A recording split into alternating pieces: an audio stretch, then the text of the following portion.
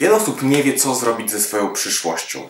Głównie jest to moim zdaniem przez to, że w szkole nie do końca, nie do końca uczymy się tych rzeczy, których powinniśmy. To znaczy, uczymy się jak wygląda pantofelek, co działo się w jakimś kraju, o którym nie mamy pojęcia, że istniał tysiąc lat temu, ale nie do końca dowiadujemy się za dużo o sobie. Dowiadujemy się, jakie mamy talenty, jakie mamy predyspozycje do tego, co robić w przyszłości, jakie w ogóle są zawody w przyszłości, które moglibyśmy objąć, wykorzystując właśnie ten potencjał, który w sobie mamy. Dlatego ja dziś chciałbym podzielić się z Tobą e, kilkoma talentami, które mogą Ci troszkę bardziej nakreślić może w jakim kierunku mógłbyś skierować lub mogłabyś skierować swoją przyszłość. Pierwszy talent to talent przestrzenno-wizualny. Dzięki niemu patrzysz obrazami. Jesteś tak zwanym wzrokowcem na pewno. Kiedy patrzysz na coś, dużo łatwiej się to zapamiętać niż to słuchasz, czy czytasz, czy robisz z tym cokolwiek innego. Widzisz obrazy w swojej głowie w bardzo prosty sposób i możesz te obrazy przerzucić ze swojej głowy na rzeczywistość.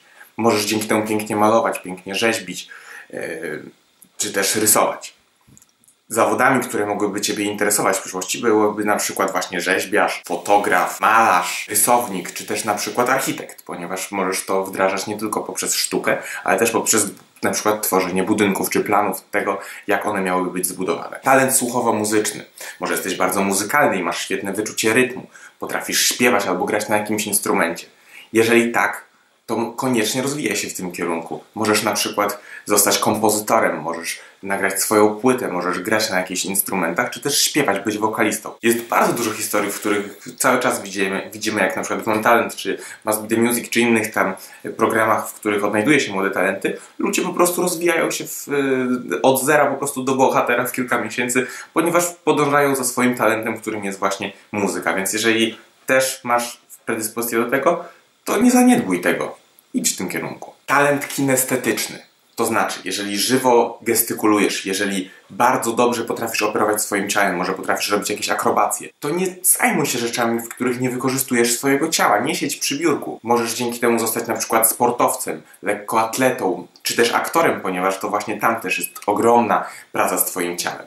Więc jeżeli potrafisz na przykład dobrze wykorzystać swoje ciało i nie jesteś takim kimś takim, kto cały czas stoi w miejscu, to koniecznie idź w kierunku właśnie pracy, w której będziesz pracować z ciałem. Czy to będzie tańczenie, czy to będzie aktorstwo, y, czy to będzie sport, koniecznie to musi być związane z ruchem Twojego ciała. Talent zapachowo-smakowy. To znaczy, jeżeli masz świetny węch, potrafisz bardzo dobrze dosmakować pewne potrawy, to na pewno otwiera Ci perspektywę na to, żeby zostać na przykład kucharzem, żeby zostać sommelierem, żeby zostać baristą. Mieć do czynienia po prostu ze smakami i z zapachami ponieważ trzeba naprawdę bardzo dużego, dużej predyspozycji do tego, żeby zrobić świetne jedzenie. Ja na przykład nie jestem jakimś ogromnym smakoszem, no ale potrafię odróżnić dobre jedzenie od słabego, ale to jest naprawdę na poziomie takim bardzo podstawowym. A mam znajomych, którzy po prostu potrafią wyczuć każdy smak w jednym daniu, które jest zaserwowane, gdzie ja potrafię tylko powiedzieć, że to jest mięso albo to nie jest mięso. Oni potrafią podawie, powiedzieć, jakie są tam przyprawy. Więc wtedy możesz rozwijać się jako kucharz, właśnie jako sommelier, jako barista. Na pewno pracować z jedzeniem, czy też z piciem, napojami. Kolejny talent to talent przywódczy. Czy może wzbudzasz zaufanie innych ludzi? Czy ludzie chętnie za tobą idą?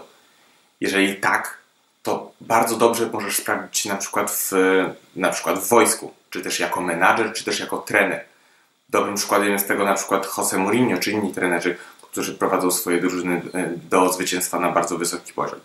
Jeżeli budzisz zaufanie innych osób i potrafisz zmotywować ich do tego, żeby dawali z siebie jak najwięcej, to koniecznie musisz się w tym sprawdzać, ponieważ to też jest ogromny talent. Zobacz, jak ogromną karierę zdobywają y, te osoby, mimo że to nie oni grają na tych boiskach, tylko siedzą obok, ale to oni są tak naprawdę ojcami tego zwycięstwa, ponieważ to oni prowadzą ten cały zespół. Kolejny talent to talent relacyjno-empatyczny. Czy potrafisz dobrze dogadać się z każdą osobą? Może potrafisz odczytać z niej coś, czego ona tak naprawdę nie chce pokazać? Czy czuje się dobrze, czy coś ukrywa? Może potrafisz czytać dobrze mowę ciała? Takie osoby są świetne na przykład w takich zawodach jak sprzedawca, jak adwokat. Potrafią bardzo dobrze odnaleźć się y, wśród ludzi. I ludzie powiedzą im dużo więcej niż osobom, które nie mają tego talentu, ponieważ oni mają taką łatwość, taką lekkość nawiązywania tych relacji. Więc jeżeli jesteś osobą z takim talentem, to koniecznie idź w pracę z ludźmi. Musisz pracować z ludźmi koniecznie, bo samemu mm, po prostu nie będziesz czuć spełnienia. Ja jestem taką osobą, ja bardzo dobrze odnajduję się w pracy z ludźmi, dlatego muszę cały czas z nimi pracować, nawet jeżeli to jesteście wy na YouTubie i nie widzimy się bezpośrednio, to ja mam świadomość tego, że ktoś to ogląda. I taka praca z ludźmi to też jest praca z ludźmi. Talent matematyczno-logiczny to jest akurat rzecz, której mi bardzo brakuje, ponieważ nie potrafię usiąść na tyłku i skupić się na liczbach i na cyferkach. Ale wiem, że są osoby, które świetnie się w tym odnajdują i ja mam takie osoby w zespołach swoich, ponieważ wiem, że to co jest coś, czego mi brakuje, mm, a ja nadrabiam natomiast innymi rzeczami, natomiast jest to niezbędna funkcja w funkcjonowaniu bardzo wielu zespołów i organizacji. Dlatego jeżeli potrafisz świetnie wykonywać obliczenia, genialnie radzisz sobie w Excelu, to jesteś, gwarantuję Ci, że jesteś jedną z najbardziej pożądanych osób dla wielu organizacji. Możesz odnajdywać się w y, kwestiach ekonomicznych, y, w finansach, w, możesz zrobić karierę naukową, będąc profesorem na przykład akademickim. Dlatego jeżeli widzisz w sobie potencjał taki, żeby rozwijać ten talent, to koniecznie trzymaj się takich rzeczy jak cyferki. Cyferki to jest naprawdę droga dla Ciebie. Talent lingwistyczny. Jeżeli czujesz, że potrafisz świetnie składać zdania, świetnie piszesz, możesz zostać na przykład poetą, możesz pisać książki, możesz pisać nie tylko książki, ale też przemówienia, możesz zostać dziennikarzem, możesz tworzyć po prostu, teraz jeszcze jest taki nowy zawód jak copywriting, gdzie tworzysz po prostu treści, e, na przykład na strony internetowe. Jeżeli potrafisz z łatwością pisać, i tworzyć zdania, które łatwo potrafią inni ludzie przeczytać i wciągnąć się w nie, to jest coś zdecydowanie dla ciebie. I mam nadzieję, że to, że mówię o tym, że sama ta świadomość tego, że coś takiego jest talentem jest to pożądane, już otwiera ci możliwości w głowie na to, co możesz z tym zrobić. Talent oratorski, czyli to, jak przemawiasz osobami, które są po prostu świetnym przykładem tego jest na przykład William Wallace z Bravehearta. Czy jeżeli on nie wygłosiłby tego y, przemówienia, to myślicie, że czy myślisz, że ci jego podwładni wygraliby tą bitwę? Myślę, że nawet by się tam nie pojawili. Kolejny Barack Obama, Martin Luther King. To są osoby, które inspirują. Wystarczy, że one staną na mównicy i zaczną mówić, to ciągną za sobą całe po prostu tłumy no, takim przykładem, który może być bardzo kontrowersyjny, ale no, nie można go ominąć przy talencie oratorskim, był na przykład Adolf Hitler, no, który był, no, już nie będę się wypowiadał i bluźnił tutaj na y, YouTubie, ale nie można mu ująć tego, że miał ogromny talent oratorski, ciągnął za sobą tłumy. Dlatego jeżeli potrafisz zainspirować osoby, niekoniecznie tak jak Adolf y, Hitler, ale raczej tak jak na przykład Barack Obama czy Martin Luther King, to koniecznie odnajduj się w, tym, w tej sytuacji. Możesz zostać na przykład politykiem, możesz inspirować, zostać szefem i inspirować y, swoich ludzi w firmie, ale musisz przemawiać, musisz stać na scenie i mówić do ludzi tak, żeby oni mogli Ciebie słuchać i żeby Twój przekaz trafiał do jak największej ilości osób. Talent środowiskowo-ekologiczny to jest bardzo specyficzny ten, talent, ponieważ sprawia, że rozumiesz bardziej naturę niż inni. Dzięki temu możesz na przykład e, uprawiać lepiej rośliny, możesz zostać ekologiem, możesz pracować ze zwierzętami, możesz zostać weterynarzem, e, czy też leśniczym, czy mieć po prostu kontakt z naturą. Potrzebujesz natury do tego, żeby być szczęśliwym. Nie będzie ci raczej odpowiadać jakieś e, szklane mieszkanie w centrum miasta. Raczej drewniana chatka gdzieś przy lesie, gdzie możesz bez problemu mieć kontakt właśnie z naturą. Dlatego jeżeli czujesz bliskość do natury, to idź koniecznie w kierunku związanym z naturą. Czy to być na przykład e, ogrodnikiem, mieć firmę zajmującą się ogrodami, czy właśnie leśniczym, czy też weterynarzem, mieć firmę weterynaryjną, gdzie masz kontakt po prostu ze zwierzątkami. Ale koniecznie to musi być związane z naturą. Talent wewnętrznych emocji i myśli. Jeżeli potrafisz bardzo dobrze zrozumieć innych ludzi, zrozumieć siebie, masz ogromny poziom samoświadomości i zadajesz sobie takie egzystencjonalne pytania, po co tu jesteśmy i tak dalej, to na pewno możesz iść w kierunku psychologii, w, w kierunku coachingu, poznawania siebie.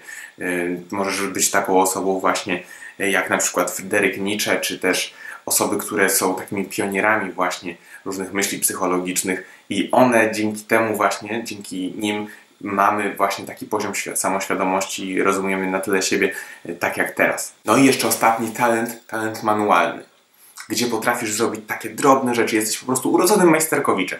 Potrafisz wszystko naprawić, ze wszystkim sobie poradzić, naprawisz każdy samochód, e, każdą usterkę w domu. Nie potrzebujesz właściwie żadnych fachowców. Po prostu masz taki naturalny dar, dzięki któremu potrafisz z niczego zrobić coś. Taki talent może pozwolić Ci na przykład mieć firmę naprawczą, czy też y, zostać mechanikiem. Gdzieś, gdzie będziesz mógł odnaleźć siebie właśnie w tych wszystkich śrubkach, w tych wszystkich zakrętach, we wszystkich tych rzeczach, w których możesz y, ingerować. To wszystkie talenty, którymi chciałem się dzisiaj z Tobą podzielić. Mam nadzieję, że wśród nich znalazłeś lub znalazłaś takie, które dzięki, dzięki którym możesz właśnie lepiej zrozumieć siebie i bardziej może wiesz, w którą stronę zmierzać, w, w jakim kierunku. Jeżeli ten temat generalnie zainteresował Cię, daj mi znać w komentarzu, napisz do mnie maila albo napisz do mnie na Facebooku, ponieważ mogę naprawdę dużo bardziej pomóc Ci w odnajdywaniu takiej ścieżki kariery na przyszłość, ponieważ sam przeszedłem dość długą drogę i dwa lata odkładałem studiowanie i tak dalej, zanim nie zrozumiem, co chciałbym tak naprawdę w życiu robić. Więc jeżeli podobało Ci się to wideo, to proszę daj mi łapkę do góry, y, skomentuj, podziel się z kimś, kto mógłby znaleźć w tym wartość. Mm, I daj mi znać, jakie tematy chciałbyś, żebym albo chciałabyś, żebym poruszył w kolejnych wideo. Koniecznie subskrybuj ten kanał, jeżeli chcesz więcej takich wideo również. I a my widzimy się już za tydzień w kolejnym wideo. Do zobaczenia. Cześć.